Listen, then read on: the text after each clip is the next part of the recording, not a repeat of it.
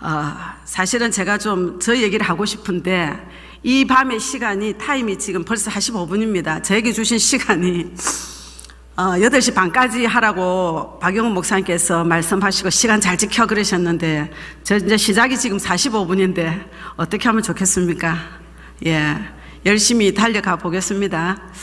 어, 제가 이, 이, 강의를 앞서서 저희 얘기를 좀 드리고 싶은데 그렇게 하셔야 여러분이 조금 더 어, 말씀에 집중하심에 있어서 또 제가 중간중간에 하는 얘기에 대하여서 좀 공감, 공, 음, 공유가 좀 될 것 같은데 아, 이거는 제가 다음에 시간을 좀 내야 될 것 같아요. 왜냐하면 짜투리로 내기에는 좀 그렇고 이것도 저것도 안 되면 안 될 것 같아서 예, 오늘은 여러분들께서 말씀에 대한 갈급함과 기대를 가지고 오셨기 때문에 일단은 말씀에 대해서 한번 나눠보도록 하겠습니다.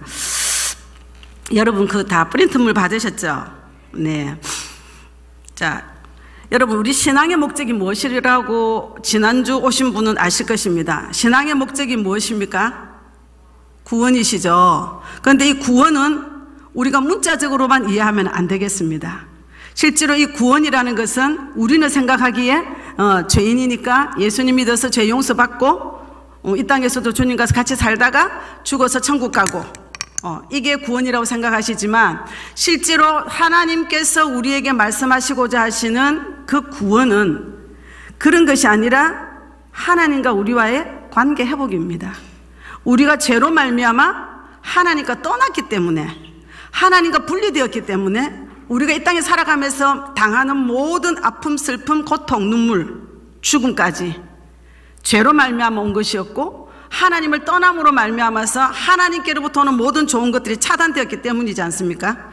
그래서 실제로 베드로 전서 1장 9절에는 믿음의 결국은 영혼 구원이라고 말씀하시는데 우리가 더 깊이 들어가 보면 하나님과의 관계 회복이고 그 하나님과의 관계가 회복됨으로 말미암아 우리의 본래의 모습 하나님께서 천지 창조하시고 사람을 창조하셨을 때에 아담을 지으셨을 때에 하나님의 형상과 모양 그것을 회복하는 것. 이것이 실제로 구원이 이루고자 하는 구원의 가장 예, 어, 높은 단계 구원이 서야 될 그 목표인 것입니다. 그래서 이것을 저는 신앙의 본 음, 이것을 가지고 어, 우리는 하나님을 믿고 나아감에 있어서 관계 회복이고 어, 태초에 아담과의 하나님과의 그 죄 범죄 전에 있었던 그 관계로 우리는 생각을 해야 됩니다. 그래서 어, 우리는 이 구원이라는 것이 하나님과의 관계 회복이고 신앙의 이게 본질인 겁니다. 그래서 하나님을 알고 사랑하는 것. 전주에도 제가 그렇게 말씀드렸습니다. 신앙의 본질이란 한마디로 하면 하나님을 아는 것이고 하나님을 사랑하는 것이다. 그게 본래 하나님이 사람을 만드셨을 때 하나님은 그 목적으로 그렇게 영원히 임마누엘 하시고자 사람을 지으셨더라는 겁니다. 그런데 그것이 깨어졌기 때문에 우리가 회복한다 할지라도 회복한다 했을 때도 그 회복은 그 원래 원점으로 원래의 그 상태로 돌아가는 것에 대한 의미를 두고 말씀한다고 이해해야 할 것입니다. 자, 그래서 어, 이 일을 이 신앙에 대하여서 우리는 구원을 받는 이 모든 것들 하나님과 관계 회복 그리고 우리 모든 삶을 살아감에 있어서의 삶의 그 기준 삶을 살아가는 데에서 에너지, 힘, 그리고 우리가 이 땅에서도 삶을 사는 것뿐만 아니라 마지막에 우리 생명이 이 땅에서도 마감을 했을 때에 그 이후의 세계에 들어가는 것까지 모든 것이 하나님 안에 다 있는데 그 하나님 안에서 우리에게 누려, 누려야 되고 그 모든 것들을 다 우리에게 설명해 주시기 위하여서 있는 것이 바로 성경이라는 거죠. 그래서 이 성경은 우리로 하여금 말씀의 토대 위에서 신앙을 건축함으로 말미암아 한 영혼도 상실하지 않고 다 구원을 하셔서 하나님의 나라 입성시키기를 원하시는 간절한 아버지의 마음이 절절히 담겨 있는 책이 성경이지요. 아멘이십니까? 그래서 이 성경은 구원을 받음에 있어서도 어떤 토대에서 어떻게 구원을 이루어 시작이 되고 구원을 어, 진행이 되어지고 구원이 마감되는지 그리고 하나님 우리 관계는 어떻게 에, 사귐을 통해서 나가는지 그리고 구원받은 자녀가 이 땅에 살면서 이 땅은 죄악된 세상이요 어, 원수 마귀가 활동하는 세상이기 때문에 피할 수 없는 영적 전쟁 속에서 영적 전쟁은 어떻게 하는 것인지 그리고 우리가 어, 이 세상에 살면서 환경으로 말미암고 사람으로 말미암고 세상으로 말미암고 그리고 우리의 그 본성에서 말미암는 육신의 소욕이나 이런 것들을 어떻게 이겨낼 것인지 그런 건 어떻게 돌파하여 살아갈 것인지 그래서 하나님의 사람으로서 어떻게 삶을 살아내야 될 것인지가 모두 다 담겨 있어서 우리가 구원을 이룰 수 있도록 온전하게 이끄는 책이 바로 뭐다고요? 성경이다. 예, 아멘이십니까? 네. 그래서 우리는 이 성경을 통해서 주님을 만나야 되고 구원을 받아야 되고 구원이 진행돼야 되고 그리고 삶을 마감하기까지 우리의 삶들을 살아내야 되겠고 그리고 마감을 하여서 그 하나님의 나라를 들어감에 있어서도 우리는 그 하나님이 묘사하시고 준비하신 천국에 대하여서 우리가 어, 붙잡고 기쁨으로 삶을 마감하는 것입니다. 지난주도 제가 말씀 가운데서 뉴욕에서 있었던 한 장로님의 죽음에 대한 이야기를 했습니다.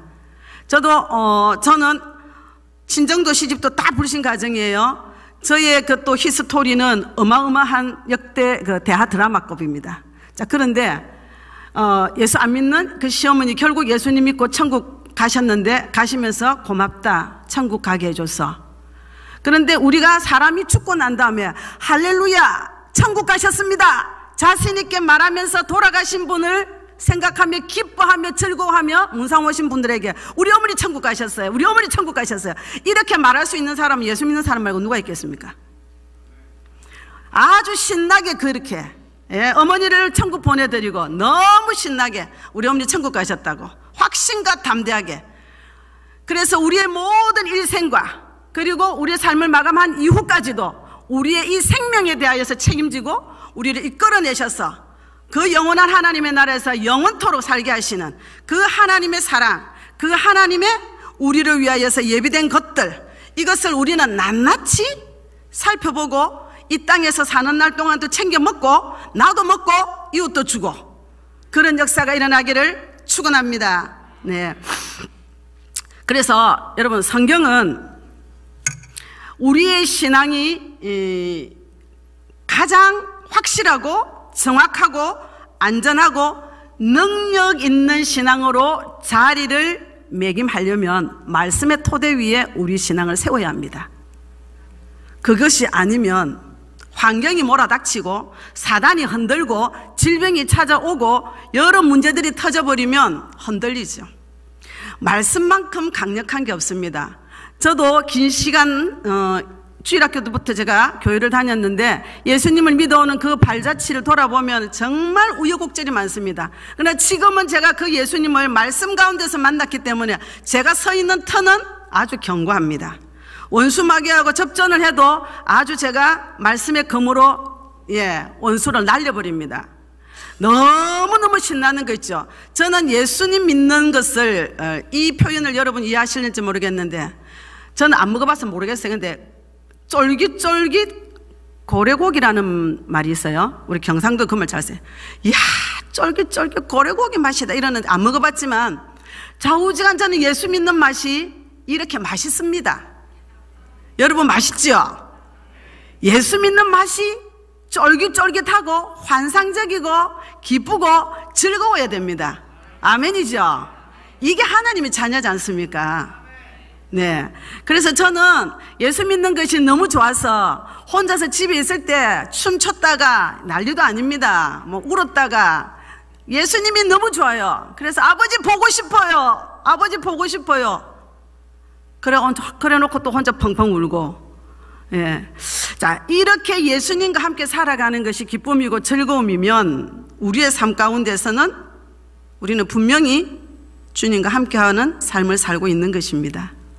자, 그래서 여러분, 음, 하나님의 말씀, 우리 이거를 읽는다고 하지요. 성경 일자. 음, 제가 원래는 어, 어 성경이 보여지네가 아니고 박영우 목사님 어 성경이 읽어지네. 그 생터 사역원의 강사였고 한 6년을 아주 많은 사람들을 이렇게 제가 성경방을 하면서 강의를 일기가 한 번 모이면 6개월이에요.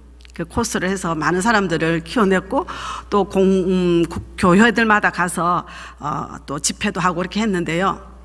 근데 읽기 프로그램이에요, 이 프로그램이. 근데 제가 하나님을 만나고 이 말씀을 이렇게 사람들이 가르치고 하면서 제 안에 하나님 성령님이 주시는 갈급함이 있어서 그게 뭐냐? 이게 읽고 알 책이 아닌 거예요.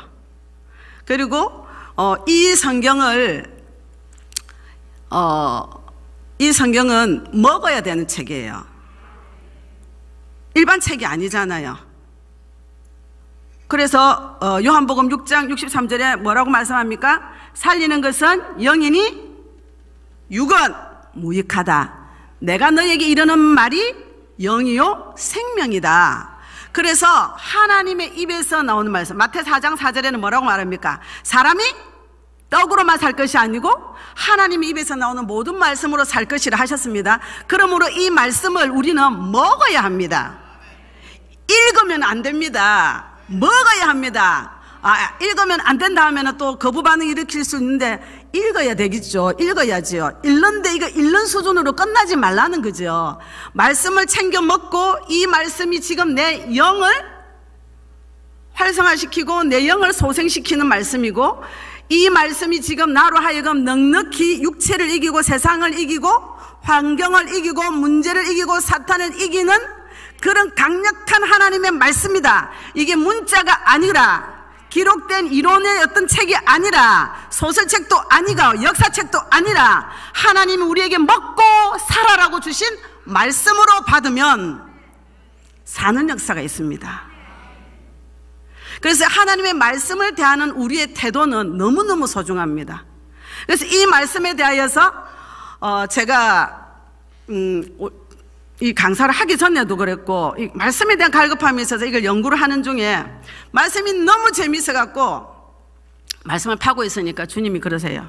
공부 그만하고 듣고 내하고 이야기 좀 하자 그러셔서 아 내가 너무 또 공부에 또 몰입을 했나 보다 싶어서 듣고 주님과 교제를 했는데요. 그러시는 거예요.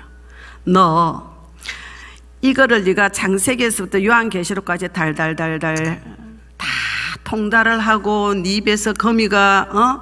그 똥구멍에서 거미줄 뽑듯이 줄줄줄줄줄줄 말하고 사람들이 네 강의를 듣고 잘한다 박수 칠지라도 네 안에 나의 생명이 들어 있지 않으면 너 안에 나의 생명이 레벨이 높지 않으면 너는 그걸 강의는 할 수 있겠지만 내 생명을 흘려보낼 수가 없다 너 강의자 될래 생명 전달자 될래 그럼 답은 뻔하잖아요 아니요, 주님, 저 강의자 되는 거 싫어요.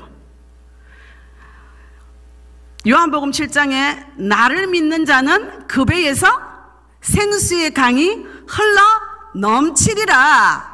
그 생수의 강이 닿는 곳마다 에스겔서에 보면 나오는 그 환상 속에서 생수의 강이 닿는 곳마다 소생함이 일어나잖아요. 식물이든 어류든 소생함을 일어나잖아요. 그것처럼 저희 입에서 나가는 하나님의 말씀이 역사하시고 일하셔서 많은 영혼들을 살리실 건데 내 안에 하나님의 생명이 없는 이론만이 가득하면 하나님 그일 못하신다는 거예요. 그래서 공부 그만하고 나랑 좀 사귀자. 그리고 네가 오늘 그 공부한 것 중에 내하고 이야기할 것 좀 없냐? 그래서 하나님과 또 한참 교제를 했거든요. 그리고 또 공부하다가도 궁금한 거 있으면 또 메모해요. 나중에 교제할 때 물어보려고. 근데 하나님께서는 제가 느끼는 하나님, 제가 만난 하나님은 너무 풍성하신 하나님이에요. 우리에게 주고 싶어 안 달라신 분이에요. 정말 주기를 기뻐하시는 분이세요. 그래서 우리가 구하는 것보다 넘치도록 주시는 하나님이라고 표현하고 있지 않습니까? 그래서 그 하나님께서 우리에게 주시기를 원하시는 그 은혜는 그 약속에 따라서 우리에게 주시기 때문에 그 약속의 문서가 뭐예요? 성경이잖아요. Old Testament, New Testament, 구약 신약. 그래서 우리가 흔히 하는 말로 구약과 신약만 잘 먹어도 어, 우리는 무병장수할 수 있다. 영혼도 천국 가고 가정도 예, 화평해지고 가정의 문제 무슨 문제든지 하나님이 일하시기 때문에 그런 일들이 일어난다라고 말하고 있습니다. 자, 그래서 하나님 말씀은 그렇습니다. 히브리서 4장 12절에 하나님의 말씀은 살았고 운동력이 있어 좌우의 날선 어떤 검보다 예리하여 홍과 영과 및 관절과 골수를 찔러 쪼개기까지 하며 또 마음의 생각과 뜻을 감찰하나니 하나님의 사람으로 온전하게 한다는. 우리는 우리가 어떻게 변화되어야 온전한지 우리는 몰라요. 그런데 하나님이 보시기에 하나님의 사람으로 온전케 되는 것은 하나님의 기준이 있죠. 그럼 우리는 모르지만 말씀을 붙잡고 계속하여 추적해 들어갑니다. 하나님을 향하여 나아갑니다. 무엇을 하고 나갑니까? 말씀을 붙잡고 기도하는 것입니다. 주님, 말씀하신 대로 하나님의 말씀은 살았으니 내게 역사하십시오. 이 말씀이 나를 하나님 보시기에 합당치 않는 것들, 이런 것들을 다 쪼개시고 뽑으시고 태우셔서 하나님의 사람으로 온전케 하여 주십시오. 내 안의 생각과 마음과 뜻을 감찰하셔서 하나님께로부터 오지 아니한 것들은 다 제거시키시고 하나님께로부터 오는 신선한 것, 기름진 것, 깨끗한 것, 순결한 것, 거룩한 것, 온전한 것, 생명으로 살아낼 수 있는 것 이런 것들로 채워 주십시오. 하나님의 말씀을 안다는 것은 대단한 능력입니다. 제가 금방 이렇게 기도했던 것처럼 기도도 아주 파워풀하게 기도할 수 있습니다. 말씀을 붙잡고 해요. 하나님은 언약을 따라서 일하시기 때문입니다. 당신이 하신 말씀 1.1획도 변함없이 다 이루시는 분이십니다. 우리가 기록하여 주신 말씀을 붙잡고 이러 이렇게 하셨으니 이렇게 이루어 주십시오. 이래 말씀하셨지요. 이루어 주십시오. 하나님은 언약에 약하신 분입니다. 약속하셨기 때문에 이루시는 분이십니다. 그렇기 때문에 이 말씀을 우리가 우리 10년 가운데 잘 내장해야 되겠고 이 말씀은 또한 원수 마귀와 싸울 때도 아주 강력한 음, 검이 됩니다. 무기가 됩니다. 원수가 와서 덤빌 때도 말씀의 칼을 뽑아서 악한 사탄아 떠나가라. 하나님 말씀이 이렇게 하시니 너가 나를 함부로 할 수 없어. 떠나가. 아주 강력하지요. 그래서 영적 전쟁에도 탁월하게 하나님의 말씀으로 원수를 물리치십니다. 그 모델이 누구십니까? 예수님이시지 않습니까? 돌들을 응? 취하여서 떡덩이가 되게라. 사단아 떠나가라. 사람이 하나님의 어, 사람이 떡으로 살 것이 아니라 하나님 여호와 입에서 나오는 말씀으로 살 것이다. 말씀으로 다 KO 시키셨습니다. 예, 우리의 모델이신 예수님께서 그렇게 사셨고 또 바울도 앞서가 믿음의 선진들이 다 말씀의 토대 위에서 강력한 삶들을 구축해서 살아내셨습니다. 우리는 여기 계시는 여러분과 저는 믿음의 선진들에 대해서 굉장히 사모함이 있습니다. 다윗과 같이 다니엘과 같이 바울과 같이 예 모세와 같이 하나님 앞에 정말 살아내기를 원합니다. 아멘이시지요. 그런데 그런 삶은 부러워한다고 사라지는 것이 아니라 그 말씀에 기준하여서 그 사람들이 하나님 앞에 살아냈던 삶들을 그대로 나도 말씀으로 무장하여 살아내면 사라지는 것입니다. 야고보서에도 말씀하지 않습니까? 엘리야가 기도한 적 하늘이 닫아 어, 기도한 자 3년 6개월 비가 안 왔고 기도한 적 비가 왔다. 엘리야와 성정이 같은 우리도 기도하라고 말합니다. 야고보는 그럼 우리는 그러죠.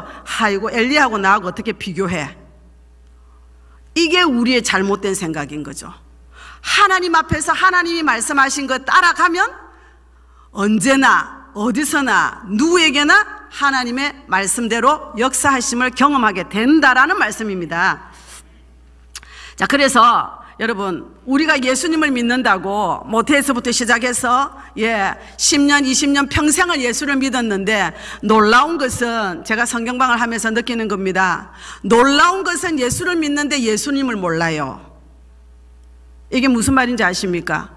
예수님을 믿는데 성경에서 말씀하는 예수님대로 믿는 것이 아니라 그냥 나의 경험을 따라서 설교를 통해서 조각조각 퍼즐 맞추기를 혼자서 해서 그리고 이 사람 저 사람 어, 이야기 속에서 누구의 간증 속에서 유튜브 이, 이거 보고 저거 보고 해서 아 예수님 이런 분이다 정확하게 예수님을 알려면 뭘 봐야 될까요? 성경을 봐야 됩니다 요한복음 5장 39절에 이렇게 말씀합니다. 성경에서 영생을 얻는 줄 생각하고 성경을 상고하거니와 성경이 곧 내게 대해 증거한다. 창세기에서부터 이 요한계시록까지 온통 예수님 이야기입니다. 그런데 이걸 안 보고 예수님을 믿는다고 여기에서 예수님을 안 만났는데 예수님을 믿는다고 우리 하나님의 백성들, 하나님의 자녀들은 하나님이 주신 자, 그 자녀에게 주신 특권과 권세를 무효화시키는 겁니다.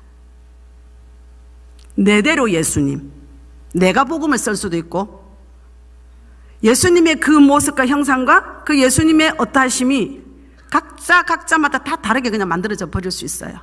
근데 진리는 정확하게 우리에게 예수님이 어떤 분이신지를 말씀하고 있거든요. 자, 그래서 요한복음 17장 3절에는 영생은 유일하신 참 하나님과 그의, 그의 보내신 자 예수 그리스도를 아는 것이라 했는데 그분을 알아야지 구원을 받고 예수님은 내가 길이요 진리요 생명이니 나로 말미암지 않고는 아버지께로 올 자가 없다 하여서 구원에 이르는 길이 예수님인데 그 예수님을 제대로 알지 못하고 예수를 믿느라고 하고 다닌다면 우리는 지금 우리의 신앙의 기초를 말씀 위에 세우는 작업을 부지런히 해서 우리의 믿음이 아주 탄탄하게 말씀 위에 서고 말씀의 뿌리를 내려서 앞으로 어떠한 어려움이 닥칠지 나라도 위기고 전 세계가 위기입니다. 그리고 성경이 말씀하시는 것은 앞으로 갈수록 시간이 지날수록 종말을 향해 가기 때문에 많은 어려움을 우리는 겪을 수가 있습니다. 자, 그런 시험의 때를 준비하기 위하여서도 그리고 반드시 우리가 믿고 목적하는 바 그 나라를 상속으로 받고 그 나라에서 영원히 살기 위하여서도 우리는 이 말씀에 대해 창념해야 되고 이 말씀 안에서 우리의 신앙을 굳건하게 세워야 될 줄로 믿습니다. 그래서 이 말씀을 읽으면서 이 말씀을 먹는다고 하나님 앞에 생각을 하셔야 되고 먹습니다. 이 말씀이 양약이 되게 하시고 이 말씀이 나에게 예, 생명의 말씀이 되게 하셔서 나 영, 나의 영을 활성화시키고 나의 육체를 예, 통치하고 나의 이 모든 환경들을 다 제압하고 하나님께만 순복해 살아갈 수 있는 자로 세워 주십시오. 그렇게 말씀과 기도와 그리고 교제와 그리고 삶 가운데서 하나님께 물어서 나아가시면 하나님께서 분명히 우리를 이끄실 겁니다. 제가 경험한 하나님은 우리가 기도하고 우리가 하나님께 뭔가를 묻고 우리의 그 삶을 조정해 가려고 할 때 너무 기뻐하시고 오래 기다리게 하지 않는다는 것을 저는 체험하고 삽니다. 예전에는 몰라서 막 금식해야 되는 줄 알고 막 3일 금식, 막 작전기도 막 이런 거 해야 될 줄 알았는데 그런 하나님이 아니시더라고요. 뭐 줄고 솔로몬에게 하셨던 것처럼 내가 너에게 뭘 줄까? 너 뭐 필요하니? 그러니까 이 아버지의 마음이 계속 말씀을 통하여서 하나님을 만나고 난 이후부터는 이 아버지의 마음이 계속 제게 부어지는 거예요.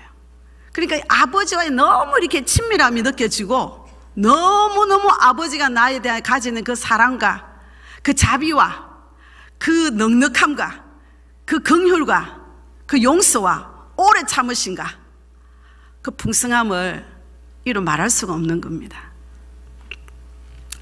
이렇게 말씀 위에 서 있어야 기도도 또 응답을 받았을 때도 하나님이 응답을 주시는 그 응답에 대하여서도 제대로 해석이 되어질 수 있고 무엇보다도 하나님이 우리에게 중보하거나 할 때 주시는 예언에 대하여서도 음, 성경적으로 잘 음, 해석할 수 있는 겁니다.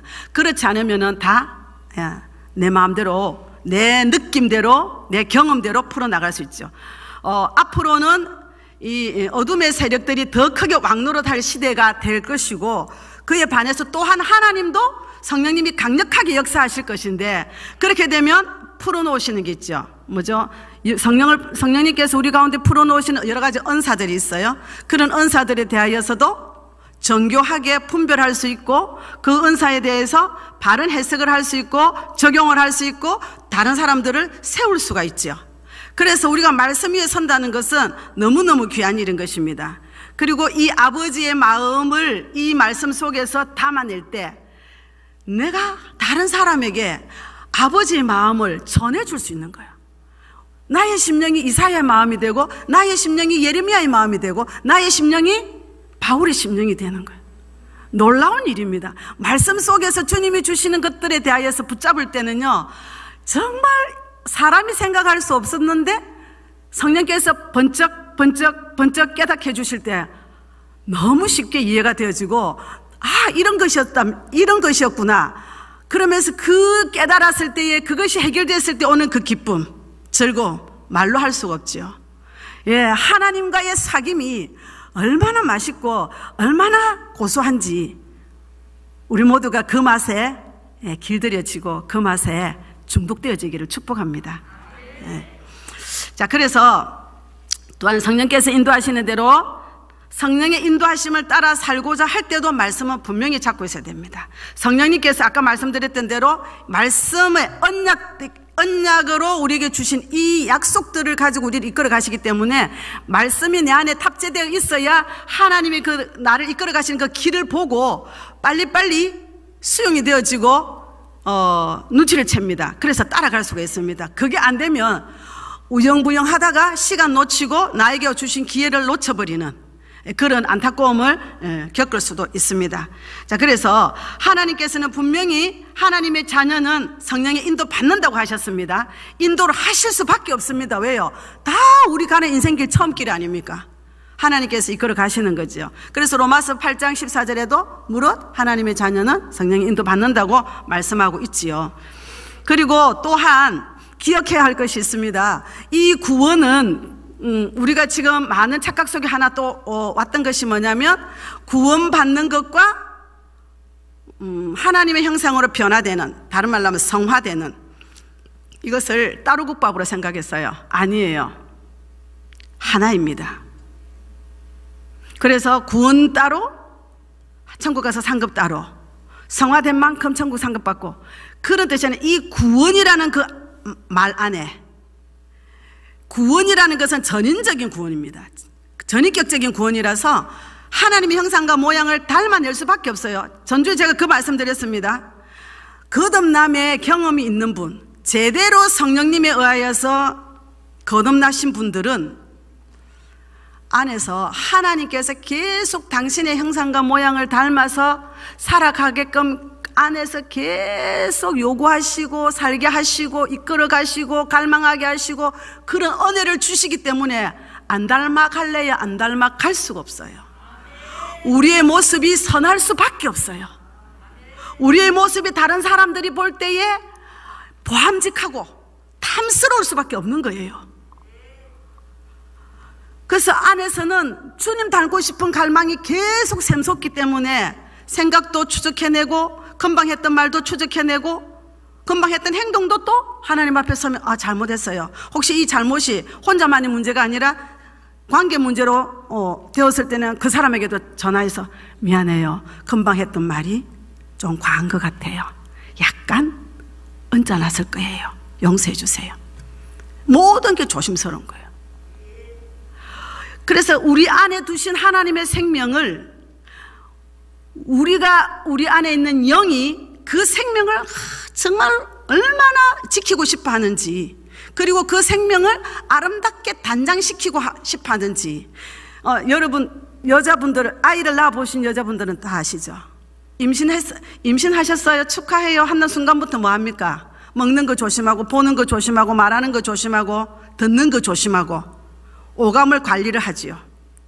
그리고 어떻게 하든지 예, 좋은 것으로 아이에게 들어가게 하려고 아이에게 주려고 모든 것을 살핍니다. 그거를 건십 열 달을 하죠. 근데 하나님의 생명은 아주 예민해서 금방까지도 내가 하나님과 함께 어, 먹고 마시며 기뻐하였을지라도 아차 순간에 그 생명이 나와 살짝 분리되는 그런 시간들이 있단 말이죠. 그러니까 아주 예, 민감하죠. 우리 안에 계신 성령님은 굉장히 민감하시죠. 그렇기 때문에 마음을 쓰면서 하나님과 늘 이렇게 예, 가야 되는데 이렇게 말 들으니까 아이고야 그렇게 긴장해서 어째 사노 예, 저도 처음에 그랬습니다 못 살겠다 저래 긴장해서 어떻게 사나 그런데 훈련을 통해서 주님과의 이런 관계 속에서 갈수록 갈수록 이 예민함이 좋아져요 부담이 아니고 예민함이 좋아지고 더 섬세하게 주님과 동행하고 싶고 주님과 살아가고 싶은 마음이 생기는 거죠.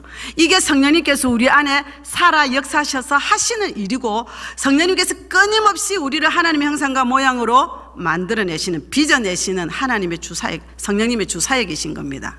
그래서 장성한 그리스도의 분량에 이르기까지 자라게 하시는 것. 이게 성령님의 사역이시죠. 자, 그래서 우리는 실제 이 신앙에 실제를 위해서 이 말씀이 얼마나 소중한지를 지금 제가 말씀을 드렸고, 그러면 우리는 이, 이런 말씀이 우리 삶 가운데서 실제 되기 위해서 우리가 할 일이 뭐가 있을까요?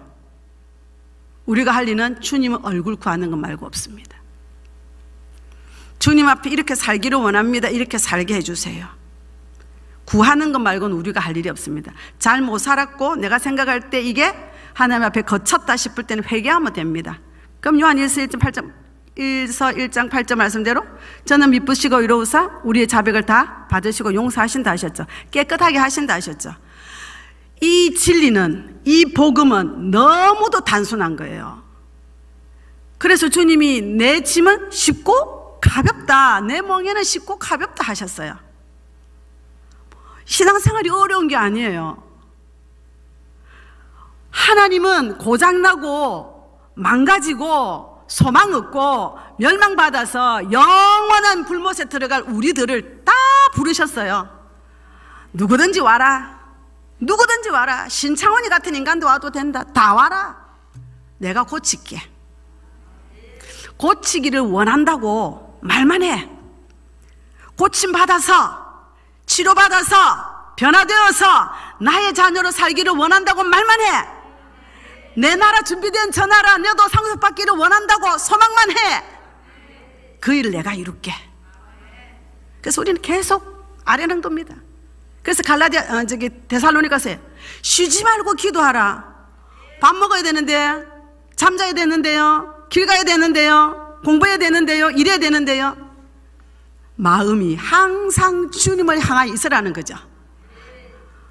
이것이 되면 꿈 속에서도 주님과 대화하고 있습니다. 내 영이. 정말 이 영의 생애는 너무너무 신비로워요. 그리고 그 각자가 하나님의 세계 안에서 경험했던 것들을 책을 통해서 보면 하나님의 세계가 얼마나 무궁무진하게 넓은지를 알 수 있고요. 하나님의 그 우리에게 베푸신 은혜가 얼마나 무한 공급인지를 알 수가 있어요. 그래서 우리는 하나님 앞에 늘 주의 얼굴을 구하고 우리가 정말 하나님 안에서 하나님이 원하시는 대로 우리가 거듭나고 하나님의 형상과 모양의 사람대로 세워지기를 원합니다. 그래서 요한계시록에 나온 말씀대로 거룩한 신부로 단장되어서 주 예수의 날에 아멘 주 예수여 어서 오시옵소서 내가 주의 신부로 이렇게 단장했나이다 하고 맞이할 수 있는 저와 여러분 되기를 축복합니다. 너무 신나지 않을까요? 준비 안 되어 있다가 빵빠레 울리고 주님 오실 때 이런 거는 정말 불행입니다. 그렇죠? 예, 아주 프랭카드 걸고 그냥 주님 어서 오시라고 우리가 해야 될 것 같습니다. 예, 그래서 시편 105편 4절에 다윗은 이렇게 말합니다. 여호와와 그 능력을 구할지어다. 그 얼굴을 항상 구할지어다. 그 얼굴을 구하는 자에게 하나님은 그 얼굴을 비추셔서 자기를 계시하여 주시고 그 하나님의 말씀들이 어떤 말씀인지를 깨닫게 하시고 그 말씀 안에서 기쁨을 누리게 하시고 그 말씀 안에서 우리 안에 있는 상처, 우리 안에 있는 이 질병 모든 것들을 다 치유하여 주기를 기뻐하시는 분이십니다. 우리는 정말 예수님을 믿되 신명나게 믿어야 될 줄로 믿습니다. 코로나 전국으로 인해서 우리가 좀 기가 죽었습니다. 기 죽을 필요 없습니다. 우리는 하나님의 자녀입니다. 그리고 우리는 하나님의 말씀으로 우리가 무장되어지고 하나님의 말씀의 터 위에 우리의 신앙을 세워서 세상 가운데 그리스도의 사랑으로 정말 그들을 잘 섬겨야 할 것입니다. 그러므로서 하나님의 그 어, 하나님 어떤 분이신지를 우리가 반사해 내야 될 것입니다. 자, 그래서 지금 음, 이제 여러분과 함께 성경에 대하여서 이 말씀을 먹기 위하여서 읽는데 읽어도 어, 어떤 구조인지 또 읽음에 있어서 어떻게 읽는 것이 여러분들이 소화를 시키고 이 말씀이 여러분 안에서 어, 잘 이렇게 연결이 되어져서 통으로 말씀이 이해되어지고 하나님의 말씀을 쉽게 이해할 수 있는지를 여러분을 제가 도와드리도록 하겠습니다. 음. 먼저 성경은 자 아주 초보적인 질문이지만요. 자 성경은 모두 몇 권이죠?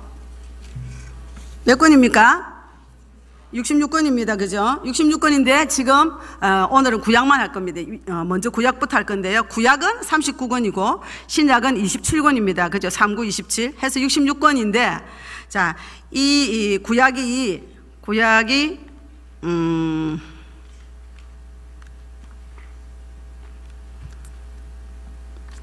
지금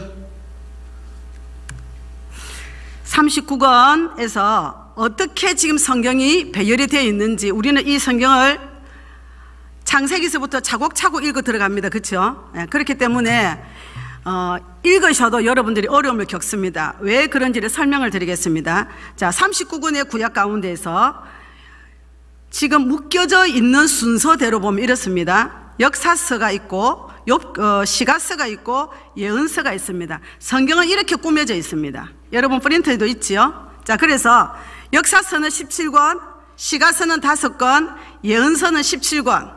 이렇게 묶여져 있습니다. 이게 지금 차례대로 되어 있거든요.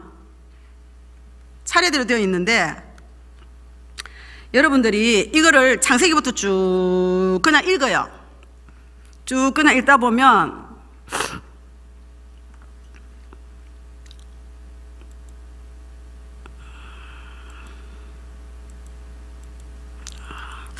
자, 그냥 읽다 보면은 읽기는 읽었는데 내용이 전체적으로 이해가 잘 안 되죠. 그왜 그러냐 하면 자, 초록색은 역사서라 그랬습니다. 이 역사서는 그야말로 역사의 흐름을 따라서 묶어놓은 책이에요. 거의 예, 연대기적으로 시간순으로 지금 흐르고 있어요. 그래서 이 역사서는 읽으면 그냥 쭉 읽어도 크게 문제가 없어요. 자, 역대상하 어, 하고 그 다음에 어, 에스라만 순서가 바뀌었지 나머지는 그냥 쭉 순서가 그대로 흘러가요. 자 그렇기 때문에 이거는 읽는데 문제가 없어요. 그리고 시가서 다섯 권도 읽는데 크게 문제는 없어요. 얘들은 따로따로 읽어도 크게 문제가 없어요. 문제는 뭘까요? 예언서예요. 이 예언서는 따로 독립만세가 안 되는 책이에요.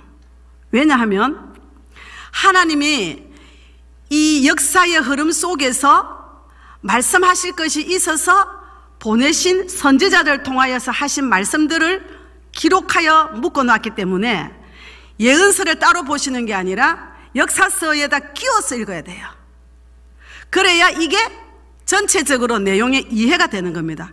그리고 조금 이따가 말씀드리겠지만 이 시가서도 역사 속에서 나온 시들이에요. 그래서 역사서에다 끼워 읽기를 해야 이해가 빨라요. 그리고 조화가 돼요. 자, 여러분 성경 갖고 계시죠? 어, 여러분이 너에미 한번 펴보시기 바랍니다.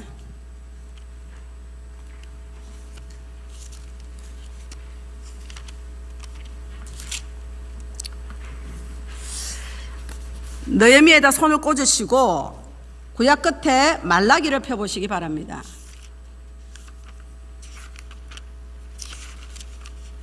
구약의 마지막 성경 말라기. 자, 여러분이 펴보셔도 느헤미야하고 말라기 사이에 이만큼의 두께의 성경이 있죠. 안에 시가서가 들어있고 예언서가 다 들어있기 때문에 이만큼 차이가 있습니다. 자, 왜 이렇게 표라고 했냐면 너헤미야가 활동하던 그 시대에 말라기가 활동했어요. 같은 시대 사람이에요. 너헤미야하고 말라기가 같은 시대 사람이에요. 그런데 우리가 성경을 순서대로 읽기 때문에 너헤미야 읽고 말라기는 맨 끝이죠. 이미 그때 지나가면 너헤미야는 벌써 옛날에 죽었고 말라기는 이제 나타나요. 그리고 그 내용도 이해가 안 돼요. 동시대 사람의 이야기인데. 그래서 성경을 우리는 순서대로 읽었지만, 어, 저와 공부하시고 나서 여러분들은 순서대로 읽는 것이 아니라 성경을 이제 통합적으로 조화 있게 아, 읽게 되실 거예요. 그렇게 되면 하나님의 말씀이 여러분이 좀 더 입체적으로 어, 들어올 수 있습니다.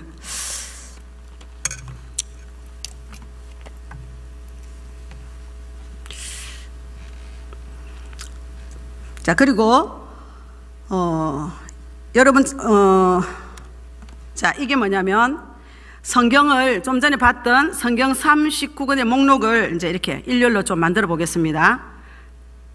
음, 자, 역사서가 먼저 이렇게 줄을, 레일을 깔겠습니다. 역사서입니다. 자, 다 같이 해볼게요. 창출민수 사삼왕 대라느 시작.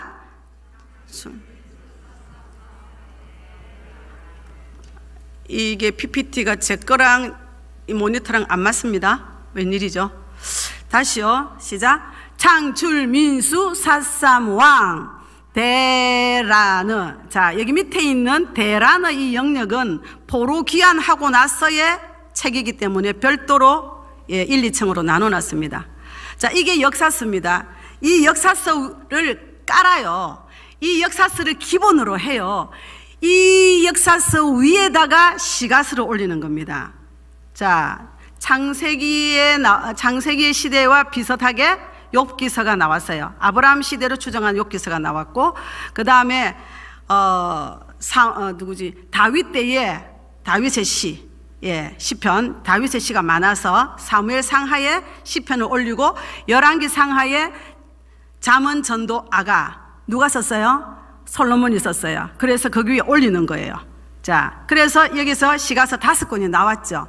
그리고 나머지는 이제 연서가 남았어요. 연서 17권. 그게 왕정시대 예언서가 12권이고 포로기한 시대의 예언서가 5권이에요.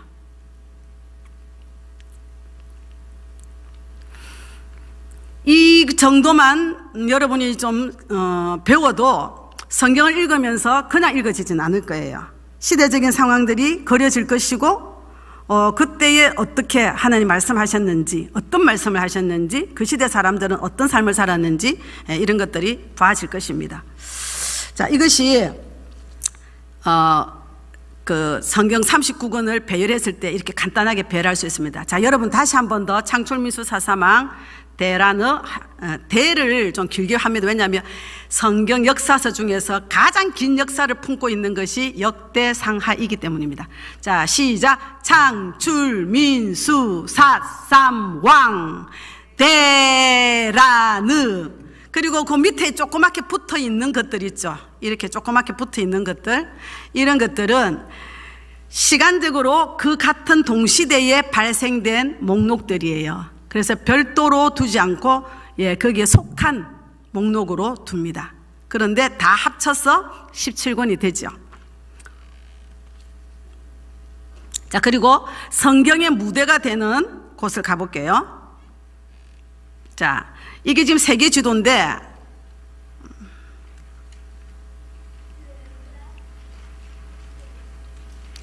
안 넘어가는 이유가 뭘까? 조금 늦네요. 네. 자, 이게 세계 지도인데요. 이스라엘이 지금 어디 있냐면, 네, 여기 있습니다. 자, 이 이스라엘은 지금 굉장히 지정학적으로 하나님께서 이스라엘이란 나라를 여기다 두신 목적이 있어요. 그게 뭘, 뭘까요? 이스라엘이란 나라는, 펜이 안 먹히는데, 자, 이스라엘이란 나라는, 예, 유럽으로도 갈 수 있고 아시아로도 갈 수 있고 아프리카로도 갈 수 있어요. 지정학적으로. 이게 통로예요. 자, 이렇게 하신 이유는 무엇일까요? 하나님의 전략입니다. 앞으로의 열방들을 구원하실 전략으로 유럽이나 아시아나 아프리카나 이 이스라엘을 통하면 어디든지 갈 수 있도록 하셨어요. 대신에 하나님 앞에 그 부르심의 제사장 나라로서의 사명을 잘 감당하지 못하면 이스라엘은 도리어 역공당하기도 좋은 위치에 있는 거죠. 그래서 사느냐, 죽느냐. 아, 이 지정학적인 이런 어려움이 지정학적인 문제가 있습니다. 그렇기 때문에 살도록 살아내야 되죠. 예. 자, 그러면, 어, 성경의 무대를 보면, 자, 여러분들은 지금 현재 우리가 지금 성경 속에서 구약을 읽고 있으면 블레셋이 나오고 암몬이 나오고 모압이 나오고 이게 다 구약의 옛날 이름이죠. 옛날 나라 이름들이고 족속 이름들인데 지금은 이름들이 다 바뀌었어요. 그렇지만 또 그렇다고 해서 그 이스라엘 주변의 나라들이 사라졌느냐? 아니에요. 이름이 바뀐 채 여전히 이스라엘이란 나라 주변에 포진하고 있더라는 거죠. 자, 그래서 그 나라들을 한번 보겠습니다. 자, 구약의 무대에 있는 나라. 여기가 이스라엘, 예, 가나안 땅이라고 하죠. 자, 그 다음에 여기는 어딜까요? 터키입니다. 터키는 전부는 아니지만 한 절반 정도가 음, 그 옛날에 아수르 땅이었어요. 그러니까 절반 여기서 이쪽으로요. 이게 지금 마우스가 아하 마우스가 안 먹어서 지금 제가 펜을 가지고 글을 쓸 수도 있는데 안 먹어서 그런데 다음에는 제가 조금 더 어, 완벽하게 좀 설치를 해서 강의하도록 하겠습니다. 자, 터키 예전에 앗수르 땅이 절반이었다는 거 레바논. 레바논은 구약에 나오면 어딜까요 두로와 시돈입니다. 베니게라고도 하고요. 근데 지금은 이제 레바논이 되어 있지요. 그다음 여기는요 요르단입니다. 이 이것은 구약 성경에서 모압, 암몬, 아모리 족속의 땅이었습니다. 모압, 암몬, 아모리 족속의 땅입니다. 여러분들하고 그림이 조금 다르죠? 여러분들 그림이 좀 더 상세합니다. 자, 그 다음 여기는 시리아입니다. 시리아는 구약의 아람이입니다. 그리고 수리아라고도 불렀죠. 예. 자, 그럼 여기는 어딜까요? 이라크입니다.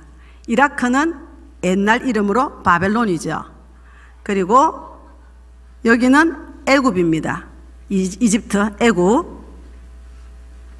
그리고 여기는 오늘날 이란이지요. 구약으로 치면 메데 바사 그리고 페르시아 이렇게 불려졌던 곳입니다. 그리고 예, 여기는 사우디 아라비아인데 구약에 보면 미디안이라고 예, 불려졌죠. 그리고 이, 지금 현재 쿠웨이트 나라가 있는데요.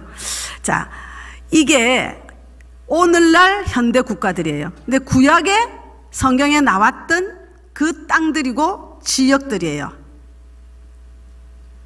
느낌이 어떠세요?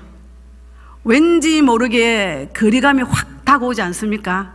우리가 성경을 읽을 때 옛날 이야기 읽는 것 같고 정말 오래된 고대 때의 이 문서를 보는 듯한 그런 느낌이었지만 이것을 이렇게 제 지금 현대 국가와 연결시켜서 이렇게 살펴보면 아 너무 가깝죠. 너무 가깝게 느껴지죠. 자, 박영호 목사님 안 계세요. 30분 다 됐는데요. 어떻게 해야 될지.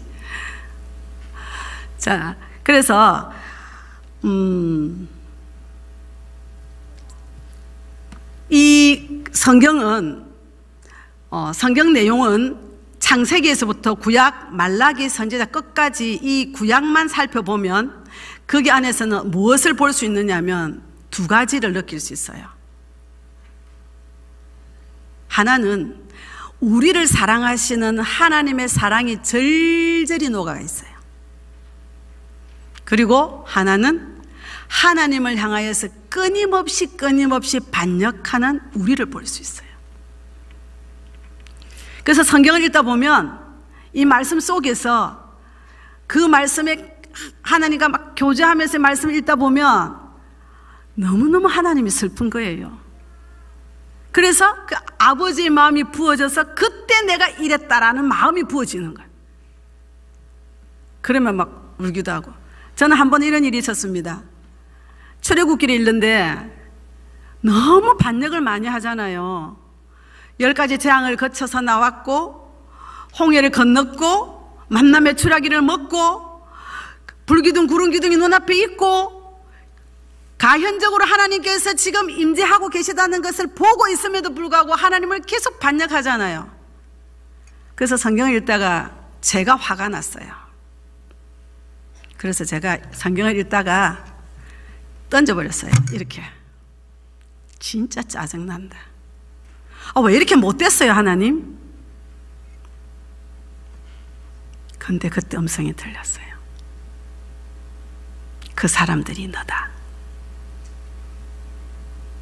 나말좀 잘 듣는 줄 알았는데 주님이 그 사람들이 너다. 근데 그때는 제가 이걸 깊이 있게 이해를 못했어요. 나중에 시간이 지나면서 더 말씀이 비춰지고 나서 제가 하나님께서 주신 말씀의 의미를 알았어요. 제가 저를 발견했었거든요. 얼마나 구질구질한 인생인지, 얼마나 강팍한지. 그래서 금식하며 하나님 앞에 기도할 때 하나님 주신 응답이 예레미야서 36장 26절 이건 제가 할, 할 때마다 헷갈리는데 내게 굳은 마음을 제하고 부드러운 마음을 주어서 내가 내 마음에 내 윤례를 두고 너가 그 윤례를 지킬 수 있도록 하겠다고 그 응답을 주시는 거예요. 그 응답을 받고 할렐루야 내일부터 당장에 되는 줄 알고 그랬는데 그때부터 또 죽음으로 들어가고 하나님의 말씀이 제 삶 가운데 실제 되기를 주님 앞에 요청하면서 나아가게 되었더라는 것입니다. 그런데요, 분명한 것은 뭐냐? 제가 삶을 잘 못 살아내도 절대 포기하지 않는다는 겁니다. 계속 도전하는 겁니다. 계속. 왜? 약속이 분명하니까. 하나님의 하심이 선명하니까. 예, 실패했습니다. 또 갑니다. 일어나서 손 들고 또 나갑니다. 주님 도와주십시오. 제거시켜 주십시오. 야, 그런데 저는 너무 감사한 게요. 제 심령 안에 하나님이 이 영으로 느낄 수 있는 어떤 그 표적을 하나 주셨어요. 그게 뭐냐면 심령 속에 처음에는 느끼기를 이렇게 큰 돌멩이 같은 것이 제 마음에 있었어요. 근데 계속 말씀 붙잡고 씨름하고 말씀대로 살려고 하고 하나님 앞에 말씀을 구하고 이것이 실제 되게 해주세요. 제가 이런 사람 되게 해주세요. 계속 말씀 붙잡고 나갈 때마다 제 마음 가운데, 심령 가운데 느끼고 있었던 그 돌멩이들이, 돌멩이 하나가 자꾸 깎이는 거예요. 너무 신기했어요. 아, 하나님께서 지금 네가 얼마만큼 자라가고 있고, 빚어지고 있고, 만들어져 가고 있다는 것을 저에게 가늠하라고 주셨구나. 느끼게 됐어요. 그래서 계속 회개하고, 깎아내고, 주님께 청원을 하고, 야, 그런데요, 너무 감사한 것은 어느 날 안 보였어요. 음, 이 안 보인 것이 실제 삶 가운데서도 나타났는데요. 저는 아이가 남자애들만 둘인데요. 애들이 그것도 다 순하고 착해요. 근데 우리 둘째가 약간 개구진 데가 있어갖고 어느 날 좀 사고를 쳤어. 뭘 깨뜨렸어요. 너무 중요한 건데. 그래서 화가 나서 소리를 치려고 야! 그걸 깨면 어떡해? 이래야 되는데 야! 예전처럼 하면, 예전처럼 하면, 야! 이래야 되는데, 안에서 딱 당기는 거예요. 야! 그러면 어떻게 해? 제가 놀랬어요. 안에서 당기는 거예요. 그래서 우리 아이도 놀래가지고, 우리 엄마가 소리 좀 지를 건데, 하나님이 얼마나 집요하게, 얼마나 열정적으로 나를 바꾸시려고 하시는지, 얼마나 나를 아름답게 단장시키시려고 하시는지, 그래서 그날에 제가 하나님 앞에 흠도 점도 티도 없이 서게 하시려고 얼마나 애쓰시는지, 제가 그 하나님의 사랑에, 그 하나님의 열정에, 그 하나님의 자비하심에 놀라고 감사해서 펑펑 앉아 우는 거예요. 어떻게 저에게 이 은혜를 주세요? 저 같은 사람에게. 정말 하나님께서 부으시는 그 은혜는 말로 다 할 수가 없습니다. 네, 뭐 밤이 맞도록 받은 바 은혜를 나누어도 부족하고, 아, 정말 저는요, 제 속에 하나님이 자랑하고 싶어서, 네, 경상도 말로 미칠 지경입니다. 하나님이 제게 얼마나 소중한 것들을 주셨는지. 이 말씀 속에서 제가 저의 저됨이 어떠한지를 보았고, 그런 저를 위하여 주님이 어떤 대가를 지불하셨는지를 말씀을 통해서 발견했고, 그리고 그 성령님께서 나와 함께 하시면서 때때로 말 안 듣고 여전히 내가 주인 되어 살려고 애를 쓰고 있고 하나님 앞에 불순종할 때 저는 제가 생각하면 방 뺄 것 같아요. 도대체 니하고 못 살겠다. 방 빼실 것 같아요. 그런데 용기를 주세요. 실패했다고 코가 쭉 빠져가, 아, 어떻게 또 실패했어. 이러고 있으면은 안에 힘을 빡 주세요. 일어나라.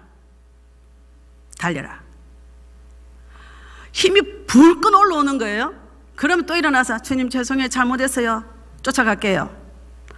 근데 이게요, 시간이 지날수록 탄력이 붙고 가속도가 붙고 쉬워지고 잘 되는 거예요.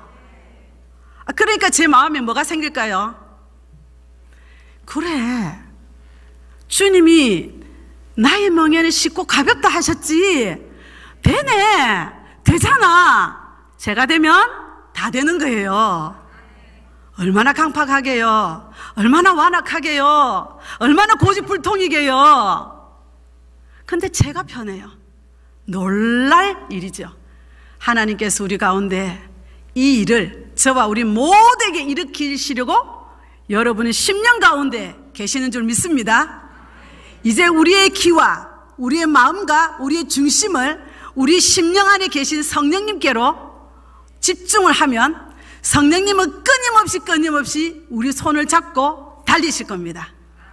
그래서 우리가 그 손에 의지한 바 되어서 신나게 달려서 우리 모두 자신의 변화 때문에 기쁘고 환경이 어떻든지 옆에 같이 사는 그분이 어떻게 하든지 상관하지 말고 내가 주님 때문에 행복하고 내가 주님 때문에 기쁘고 주님 때문에 살 만나고 날마다 천국이 그리워지고 날마다 주님 만날 날이 손꼽아 기다려지고 환란아 오너라 동남풍아 불어라 서부풍아 불어라 예 이기며 살아가는 승리하는 삶을 사는 저와 여러분 되시기를 주님의 이름으로 축복합니다.